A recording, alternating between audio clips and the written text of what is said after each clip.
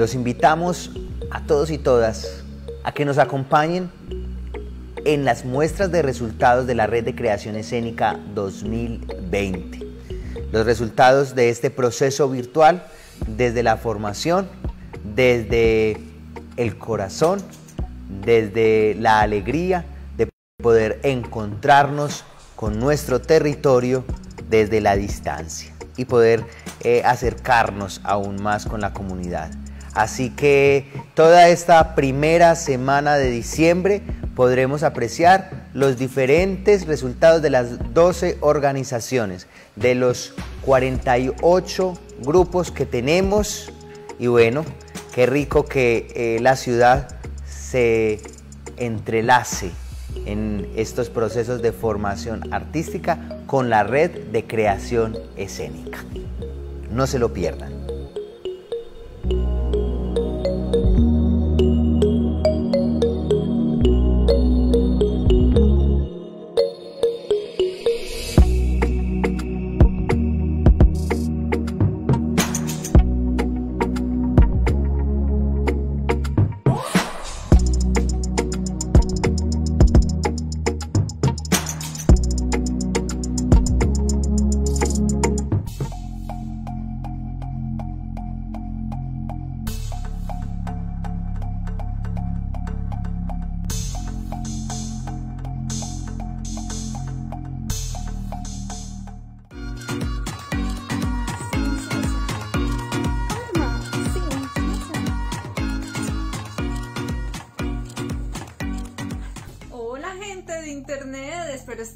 Bien el día de hoy.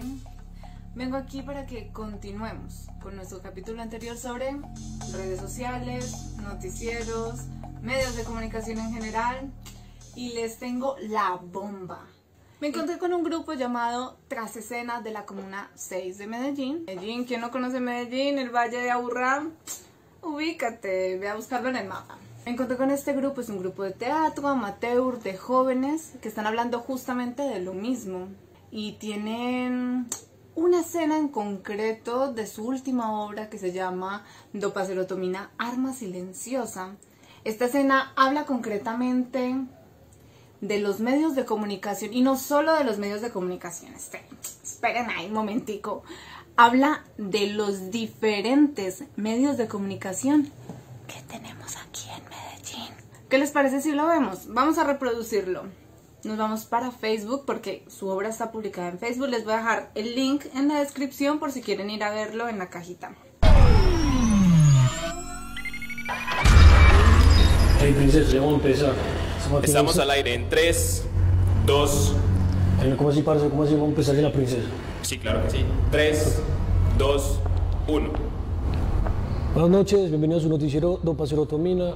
Estamos aquí. Súper lindo, Margarita. Ahorita me muestras. Bueno, ay, hola chicos, lo siento, qué vergüenza. Otra vez llegué tarde, pero es que hoy de verdad como que no se me alinearon los chakras, no sé qué pasó. Pero bueno. No, princesa, hay que llegar temprano, como haber tirado aquí en el set. Ay, pero ya llegué. Es que estamos en vivo. Ay, estamos en Dopacerotomina, el que no te domina. Pero como sienten, parceros. Aquí vemos claramente la ropa que se utiliza en Medellín. Bueno, estamos hablando pues de tribus suburbanas, de estilos muy específicos. Aquí estos dos personajes, el primero parece que es, no sé, una mezcla como entre Maluma, J Balvin, Billie Eilish. Eh, si me equivoco, ahí me disculparán. Díganme en la descripción cómo se pronuncia correctamente. Digo en los comentarios es algo así como reggaetonero, rapero y esta otra chica es como... Vamos a ver un poco más. Bueno. No, princesa, hay que llegar temprano, como haber tirado aquí en el set. Ay, pero ya llegué. Es que estamos en vivo. Ay, estamos en Dopacerotomina, el que no te domina. Pero como sienten, parceros, damos las noticias de los que dan las noticias. Aquí tenemos las noticias seleccionadas de la semana. Está, tiene como un hablado así como del poblado, como no sé, como este rollo hippie. Sigamos. Veamos. Hola, ¿qué más bien? Estas son las noticias. Les bajaron la borrachera a tiros. Uy, mami, por Dios, qué ordinaria, qué ordinaria. Ay, a mí me parece súper divi. Mm, Y hablando del titular, siempre es mejor bajar que subir, ¿no? Qué atrevida, si la ven pues. Esto es como.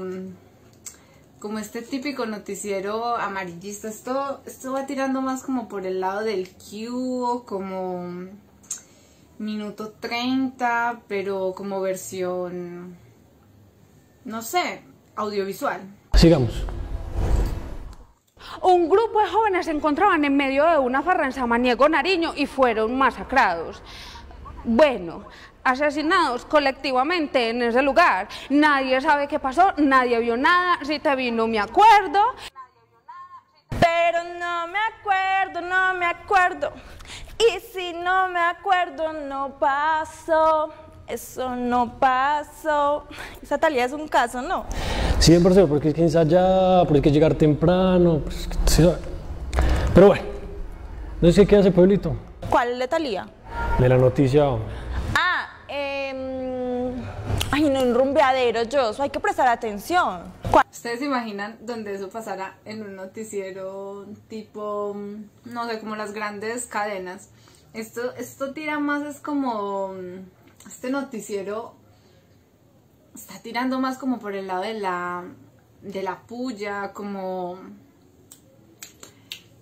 como noticiero de YouTube, como noticiero de, de Facebook, de redes sociales, de eh, como más parchado, más relajado porque no me imagino, esto es un claro ejemplo, esto nunca lo veríamos en televisión.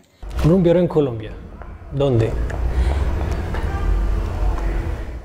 El caso es que los muchachos resultaron tiesos y pues unos dicen que son los grupos armados, que culpa del COVID, que no sé qué, pero pues dicen que van a seguir investigando y nosotros les vamos a seguir informando. Hubieran visto. ¡Qué sangrero! Yo vi todo. Por Dios, que sigue y sigue y sigue con ese. Es que es ordinaria para todo, horrible. Este país debería tener la bandera roja. Ay, sí, porque el rojo es un color súper bonito. Estoy muy de acuerdo contigo, me encanta el color rojo. Pero ella dijo algo súper importante y es que van a seguir investigando. Pues, ¿En qué país vives? Ay, tan bobito, pues en Colombia yo no he vuelto a viajar. Sigamos. Eso fue que un teri por allí, que la media de ron por allá no dejaron fue nada. No, Dios mío bendito. ¿Cuánto les habrá costado la media? Esta cara. Vamos con ella como está. Pues que, ¿vamos a tomar ahorita o qué? Vamos. Sigamos con la siguiente noticia. ¿Vieron eso? Otra referencia de algo que no pasaría en las noticias. Echarse los perros en plena transmisión. Sigamos.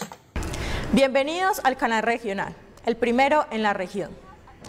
Recuerde participar en nuestra urna virtual. ¡Qué blusa tan bonita!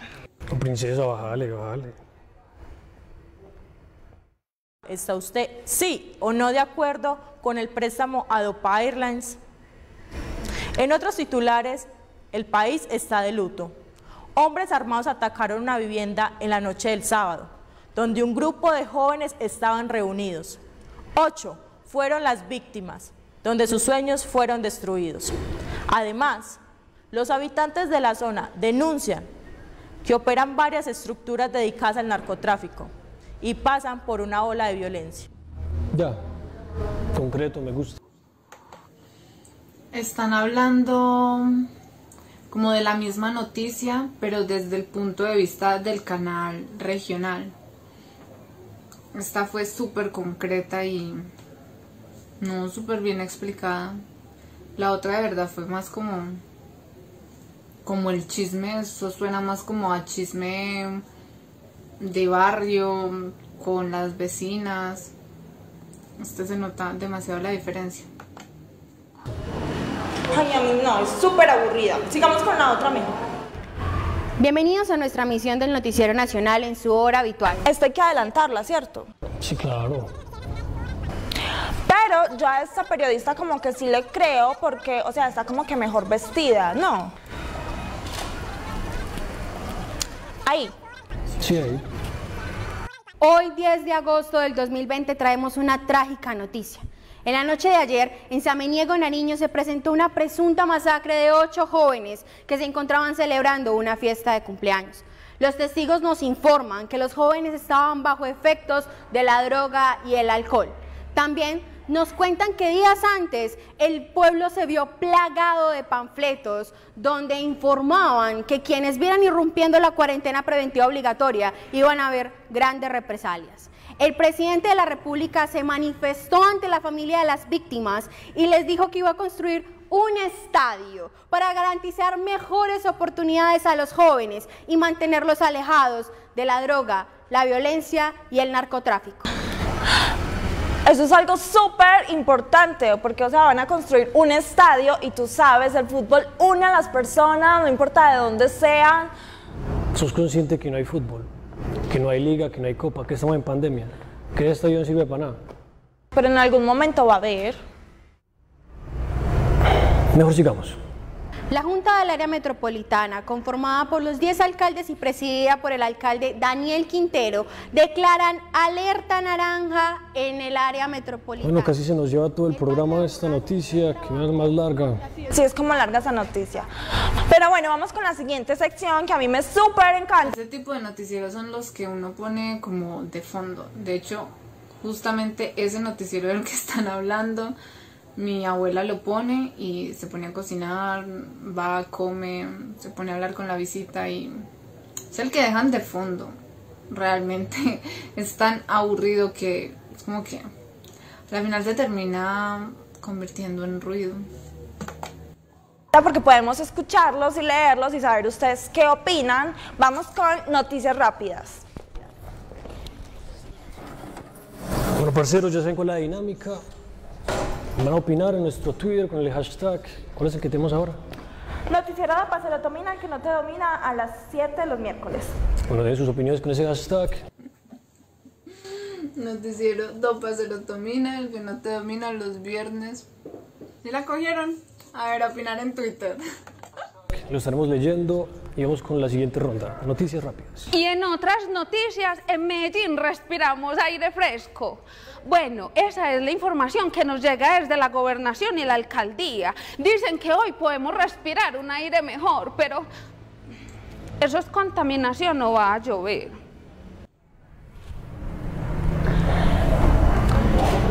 Sigamos con la otra noticia. La contaminación en Medellín es un problema crónico. La contaminación de la capital paisa proviene de la combustión de la CPM y la gasolina que mueve los vehículos y las industrias. Industrias, Joshua. Esos son los que nos tienen como nos tienen porque cada vez hay más fábricas que siguen contaminando nuestras aguas, siguen talando nuestros árboles y generando un montón de objetos que las personas nunca jamás en su vida van a utilizar. Y ni siquiera piensan en algo que sea circular, algo reciclable. Ah, ya, Porque- princesa, ya, ya, ya. Hasta ahí, hasta ahí. Sabemos que todo tu rollo ecológico, que tenés esos carros a gasolina, esos zapatos de plástico, pero ya entendemos. Esta ropa es de segunda, Joshua. Sigamos. Qué duro. Qué duro, pues, como esa dualidad de, de lo que le indigna y, y lo que se hace. Eso representa como la mitad del país, ¿no? Como todas las cosas por las cuales no estamos de acuerdo y cuánto estamos haciendo realmente para aportar al cambio que realmente necesitamos y que queremos. Niños, mujeres en embarazo y adultos mayores son los más afectados por estas partículas dañinas, provocando enfermedades respiratorias. ¿Sí Joshua? Enfermedades respiratorias. Sí, claro. Y hemos por terminar nuestro programa de hoy. Oh, shit. Bueno, hasta aquí el programa de hoy, su noticiero Dopa Serotomina. El que no te domina. Nos despedimos.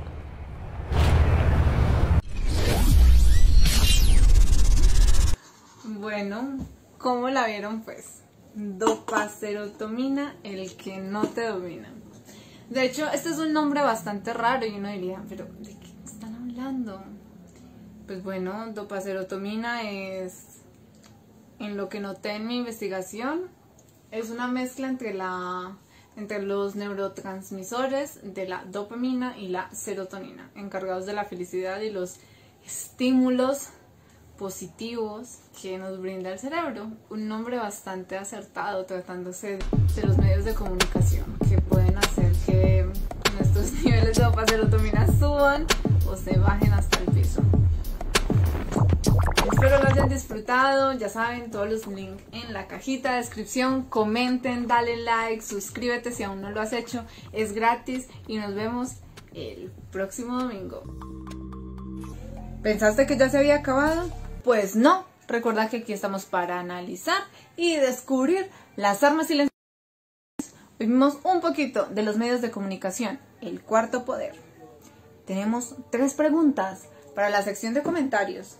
La primera, ¿son para ti los medios de comunicación confiables? Segundo, ¿cómo accedes a la información? Tercero, ¿cuál es tu medio de comunicación favorito?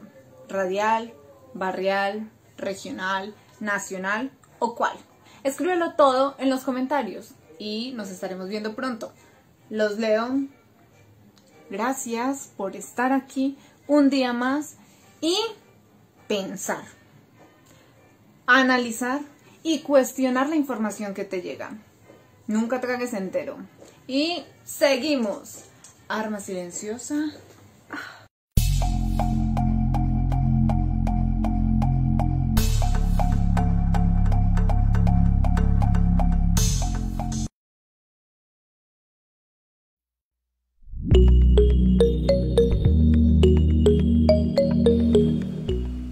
Bueno, quedan cordialmente invitados a las muestras de la red de creación escénica. Para nosotros es muy importante que estén conectados con nosotros porque vamos a ver unos procesos maravillosos de todos los equipos eh, de los teatros que estamos vinculados con la red y vamos a mostrarles estos trabajos tan bonitos que hemos creado con ellos durante este tiempo de pandemia.